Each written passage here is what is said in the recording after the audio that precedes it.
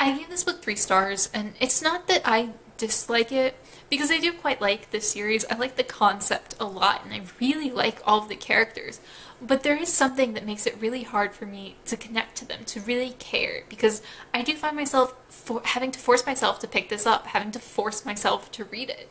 And I think it, it's a little better than the first book in the first series, um, which is also Sandry's book. I, I love Sandry as a character. She's one of my favorite characters, but I do think this is probably one of the weakest books in this series. I think one of my big issues is that I still don't understand Sandry's magic in general. Like, this is book five in this universe that has dealt with these characters. This is the fifth book Sandry has been a part of, and yet it feels like I have really no concept of what Sandry is capable of doing or how it's different than what other Stitch Witches can do. Added to that, this book also brings in a concept of something called unmagic, which is basically the opposite of magic. Whereas magic is light, magic is creation, unmagic is kind of nothingness and destruction. And I don't feel like it's dealt with very well. It feels very poorly explained. I really don't understand what it is apart from it is literally the opposite of magic. It is nothing. They just keep calling it like nothingness and darkness and shadow and like I, I really don't understand that concept. It's never mentioned in any of the other books as far as I'm aware. And it really does feel like something that's just thrown in out of nowhere. Not really a fan of that, and it's just that I don't understand what Sandry can do, and I don't understand how what Sandry does in regards to magic is so different than what her teacher Lark, who is also a Stitch Witch,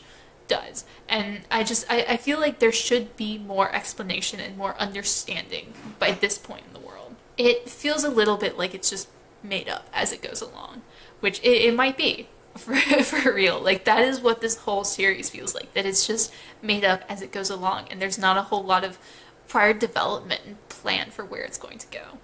But I, I, do like a lot of things about the series. It involves the introduction of dancing magic, which is cool. It's a it's a cool concept to bring that in and see how Sandry teaches someone with a magic so different to her own. I also really adore Sandry's relationship with her uncle, who is the ruler of this country, because Sandry is royalty, and I think that's something that it gets constantly brought up in the books, but it's also one of those things that's just really easy to forget that she is related to like closely related to the rulers of these countries. And it, it's really well done. I love her uncle's character. This book also is a little bit of a police procedural. She works very closely with the police in trying to track down who the murderers are where they can be. And it's not so much a mystery like the emphasis is very much on the magic in all four of the books in the series. But there's also the crime element and I really do like how she dealt with the police system in this world. And I really think this book kind of served as the inspiration maybe for the Terrier series, the Beka Cooper series set in a, a different world eh, that she came out with uh, like 20 years later or something. It has a lot of similarities in terms of the structure of law enforcement, and I did like that. But overall, I just I had to force myself through this book, and it it wasn't very fun. The second book in the series is Street Magic. It follows Briar, who's the plant mage of the four, and this deals a lot with the politics of gangs and gang warfare. And Briar finds a young stoned mage named Evvy. Evvy is a street kid, and Briar spends a lot of the book trying to teach Evvy and learn how to teach Evvy, and, and also extract themselves from this gang warfare and this noble woman who is kind of uh, putting her hand in the mix when it comes to the gangs fighting each other it's kind of interesting, but also I gave it three stars because I, I feel like the gang warfare aspect and the politics of that isn't really well handled. It doesn't feel like she delves, Tamora Pierce delves very deeply into that. Like, there's all these kind of depths you can go to when it comes to the politics of gangs, but it feels very shallow where it's just like, we're gonna fight you because you fight us, and it doesn't actually deal with any of the politics of it. It's really just like, the gangs are fighting and who needs a reason because they're gangs and that's what gangs do. And I wish she delved a whole lot more into that because I do feel like she really could have. It's just one of those situations where it seems like the choices that are made are too easy and the concepts are too simplistic and she could have done so much more with it. I'm also not the biggest fan of Evvy as a character. Um, I don't I don't really like Sandry's student that much either, but it seems important to note when it comes to Evvy because Evvy is the only one of the students so far who has become a main character in her own right. She actually has her own book now, and she continuously pops up in the other books, whereas the other students of these characters don't. Evvy's kind of like the chosen one in that regard, and I really don't find her to be a particularly interesting character. She's fine, but it doesn't feel like she really contributes a whole lot, so it always just frustrates me a little when I see her popping up so much. But this book was fine. Um, I don't have too much to say about it or any of these. You know, it's just another three stars. It was fine. It was decent. It wasn't bad, but I, I don't particularly enjoy having to force myself through books, having to stop myself from skimming because there's so much that's like very quickly introduced into these books that if you do skim, you you can miss something and get confused very very quickly. So this was another three stars. But then we get to book three, Cold Fire, which is Daja's book. And this I actually gave four stars. This was by far my favorite of this quartet, and honestly my favorite of the eight books I've read in this universe so far. And ironically enough, Daja's book was also the only book I gave four stars in the first quartet, which is funny because I, I don't particularly love Daja's character. I quite like her. Like, I like all four of these main characters, but she's not my favorite. I much prefer Sandry, but it seems like Daja's books as a whole are so much stronger than Sandry's. Daja's book, this book, was the only one in the series that felt like a well crafted story that I was ever excited to sit down and read, that I was ever really enjoying. This also deals with a crime element. There's an arsonist that is loose in the town where Daja is staying, and Daja and her students and her teacher work to track down the arsonist because it, they live in wooden houses. Everything they build comes from wood because that is the resource that they have most available. So arson is a very terrible thing there. And it's really, I, I really think it's well done.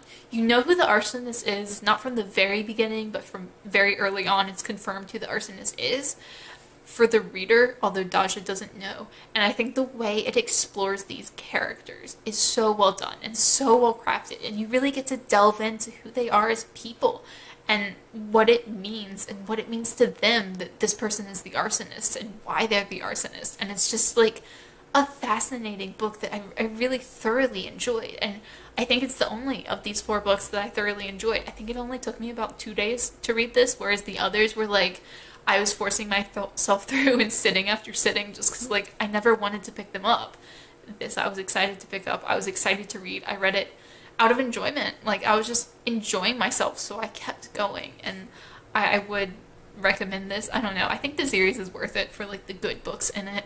Um, you have to struggle through some of the kind of mediocre ones, but the good books are just really good, and this is such a well crafted story. The fourth and final book in this series is Shatterglass. This is Triss's book, and this deals with Triss, who has a student with lightning magic, who is about, I forget how much older. He's significantly older than her. He's like about 20, I believe, and that's an interesting dynamic.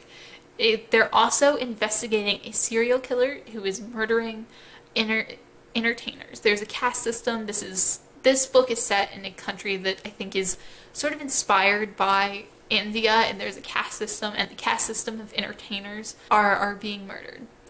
I gave this three stars. I like the story of this more than the first two. I think the story itself was compelling and interesting enough that I was getting through it very quickly. But my biggest issue was how much it othered the people of this culture. Because Triss is not a part of this culture. Triss comes from the north. She was just visiting. All of these books are set in different places because they're visiting with their teachers. And in this India inspired country, I forget what it's called, but it really doesn't matter because in my head it's just India. It, Triss has a lot of criticism of their culture, of the system, of the caste system specifically, in the way they deal with death. And it, it could have been interesting, but it very much fell into just this super judgmental white savior trope Whereas there's nothing that she likes about this culture. There's nothing where this culture is allowed to have its own voice. It's just incredibly othering. The only character who has a point of view in this, who is actually a part of this culture, has A, the smallest point of view, and B, also doesn't really agree with it. So it feels very wrong that you're just getting all these criticisms and judgment of this culture that isn't given its own voice at any point. I'm not saying I agreed with what was going on, but there's a way to criticize a culture and way to criticize aspects of it without just completely othering an entire group of people. And I think actually Daja's book, that was really well done because Daja doesn't necessarily agree with a lot of things going on in Namorn, which is where she is.